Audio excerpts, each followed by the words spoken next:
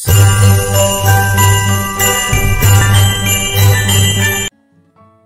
गंगणपते नमः। जय मातारा।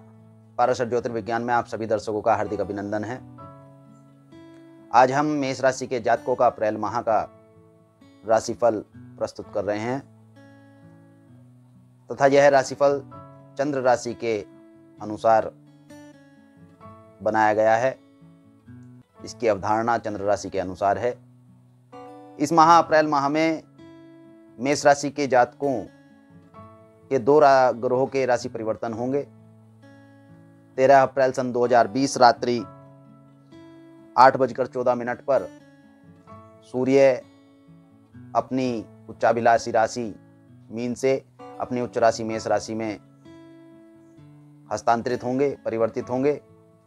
तथा 7 अप्रैल सन 2020 दोपहर दो बजकर चौदह मिनट पर बुध अपनी निम्नाभिलाषी राशि कुंभ से अपने निम्न राशि, मीन राशि में हस्तांतरित हो जाएँगे।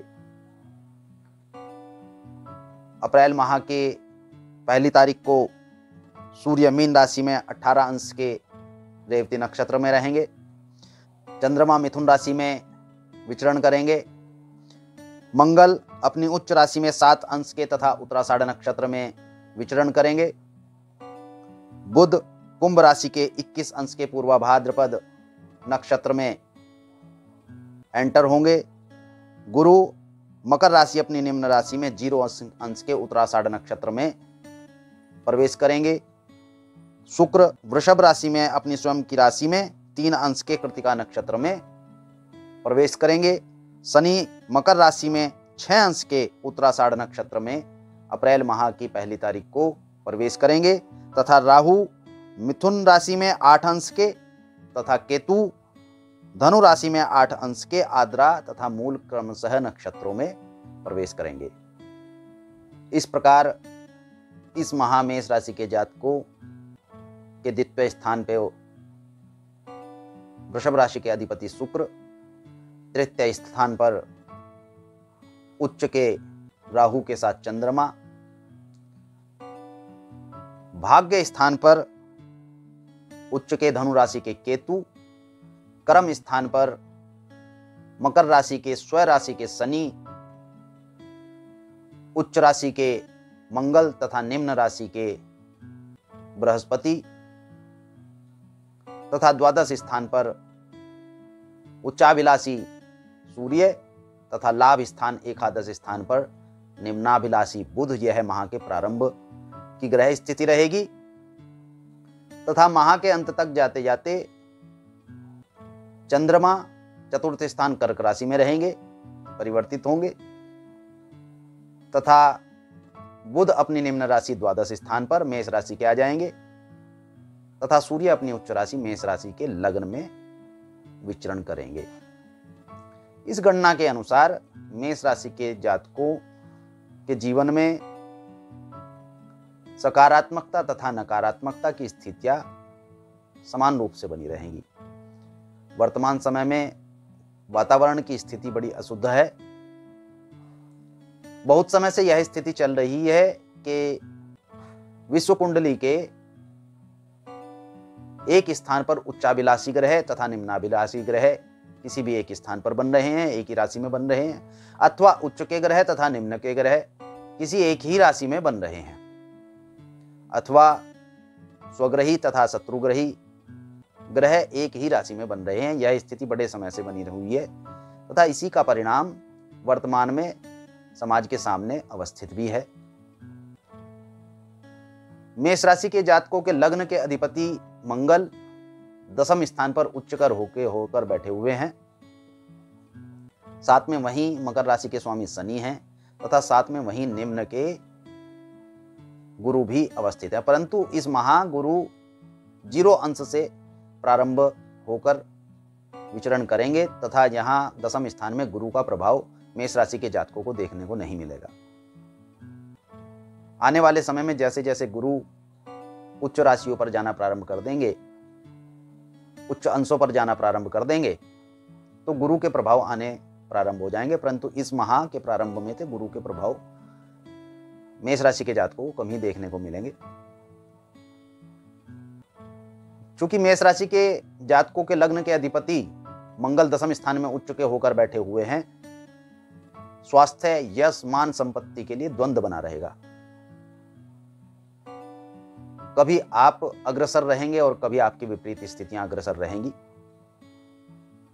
साहस तथा उत्साह अतिरेक में रहेगा। साहस टूटेगा नहीं परंतु कार्यों में सफलता तथा विजय की संभावनाएँ भी आपके सामने प्रदर्शित नहीं होंगे। आप इससे हताश नहीं होंगे, कार्य को निरंतर अबाध गति से करते रहेंगे।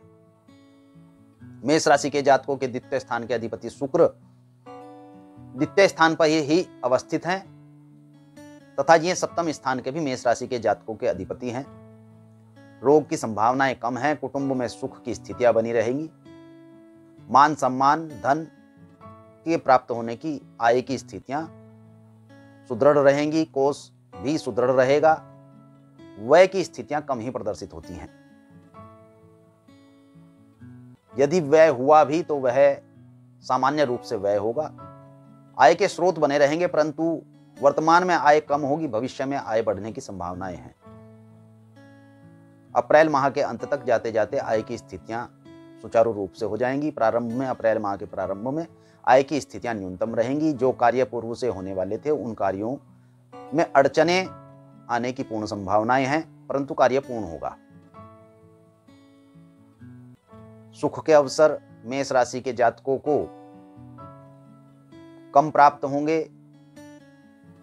मानसिक चिंताएँ घेरे रह सकती हैं इस माह मेष राशि के जातकों को।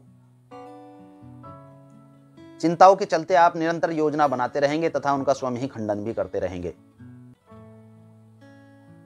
मेष राशि के जातकों के पंचम स्थान के अधिपति सूर्य माह के प्रारंभ में उच्चाभिलाषी द्वादश स्थान पर तथा माह के अंत तक जाते जाते उच्च राशि में लग्न में अवस्थित हो जाएँगे। कोई नवीन कार्य तो नवीन योजना अथवा एक ऐसा फार्मूला जो समाज के प्रत्येक व्यक्ति को पसंद आएगा तथा उस विचार पर समाज अपने आप को एकत्रित पाएगा, ऐसे मेष राशि के जातक समाज को प्रदान कर सकते हैं, विख्यात हो सकते हैं, यश की प्राप्ति के पूर्ण संयोग हैं। सूर्य यहाँ जिस अवस्था में हैं, उस अवस्था में जातकों को उत्तम फल प्रदान करेंगे। मेष राशि के जातकों को जहाँ यह प्रदर्शित हो रहा था कि रोग की स्थितियाँ कम प्रदर्शित होंगी वहीं प्रबंध में बड़ी न्यूनता आएगी। मैनेज करने में बड़ी न्यूनता आएगी। शत्रु भी प्रबल हो सकता है। वाद विवाद की स्थितियाँ बढ़ सकती हैं। वाद विवाद में आपको पराजय का सामना करना पड़ सकता है। वार्तालाप में आपके जो विचार हैं, उन पर कटाक्ष हो सकते हैं। ग्रस्त जीवन मेष राशि के जातकों का बड़ा उत्तम रहेगा। ग्रस्त जीवन साथी का सहयोग प्राप्त होगा। ग्रस्त जीवन साथी आपका निरोगी रहेगा। ग्रस्त जीवन साथी की ओर से आपको पूर्ण सहयोग प्राप्त होगा। आपको चिंता प्रदान पराक्रम की न्यूनता दे सकती है, कर्म की न्यूनता दे सकती है, कर्म करने के पश्चात भी उसके सुफलों को प्राप्त न होने की स्थिति आपको चिंता प्रदान कर सकती है। क्योंकि मेष राशि के जातकों के अष्टम स्थान के अधिपति भी मंगल ही हैं तथा लग्नेश और अष्टमेश दोनों मंगल उच्च के होकर दसम स्थान में द्वंद कर रहे हैं। अतः इस समय मेष राशि के जातकों को किसी सी ऐसी घटना का सामना करना पड़ सकता है, जो इनके बिल्कुल ही विपरीत विपरीत तथा विमुख है। इससे लड़ने में मेष राशि के जातकों को बड़ी कठिनाई होगी। यदि इस समय मेष राशि के जातक आध्यात्मिक चिंतन करेंगे तो उन्हें अपार सफलता का सामना होगा, सफलताएँ प्राप्त होंगी। रोग से संबंधित यह विषय नहीं है। यह विषय उनके व्यक्तित्व, उनकी कार्यशैली, उनकी आध्यात्मिक चिंतन को लेकर है। भविष्य में भाग्य को लेकर चिंतित रहेंगे। भाग्य के विषय में आपको बहुत ही सुदृढ़ता से विचार करने की आवश्यकता है। जिन विषयों पर आप विचार कर रहे हैं, योजनाबद्ध कर रहे हैं, उनको क्रियान्वयन भी कीजिए। मेष राशि के जातक, उनको क्रियान्वित करने में थोड़ा परेशानी अनुभव कर रहे हैं। अटकलें उनके सामने आ रही हैं, अड़चने उनके सामने आ रही हैं। परंतु इन अड़चनों का सामना आपको करना होगा तथा इनके विषय में विचार भी करना होगा। जिस प्रकार कर्म के, अष्टम के अधिपति तथा लग्न के अधिपति मंगल द्वंद कर रहे हैं, उसी प्रकार एकादश लाभ स्थान के अधिपति भी दसम स्थान में मेष राशि के जातकों के द्वंद कर रहे हैं। अर्थात मंगल, गुरु और शनि का यह जो ट्रायंगल दसम स्थान में बना हुआ है, ये बहुत ही स्थितियों के लिए संभावित, सकारात्मक भी है और बहुत सी स्थितियों के लिए संभावित नकारात्मक भी है। सुख तो मेष राशि के जातकों को यह प्रदान नहीं करने वाला। लाभ की स्थितियाँ सामान्य रहेंगी। लाभ उत्तरोत्तर प्राप्त नहीं होगा और यदि आपको किसी कार्य के लिए एडवांस प्राप्त हो चुका है तो वह आपको वापस करना पड़ सकता है। अथवा आपने यदि किसी सामान का विक्रय किया है तो उसको आपको हानि से प्रदान करना पड़ सकता है। मेष राशि के जातकों के द्वादश स्थान के अधिपति भी दसम स्थान में, अतः कार्य क्षेत्र में व्यय होगा। हानि की भी संभावनाएँ इनके सामने बन रही हैं। मेष राशि के जातकों को समस्याओं से निवृत्ति के लिए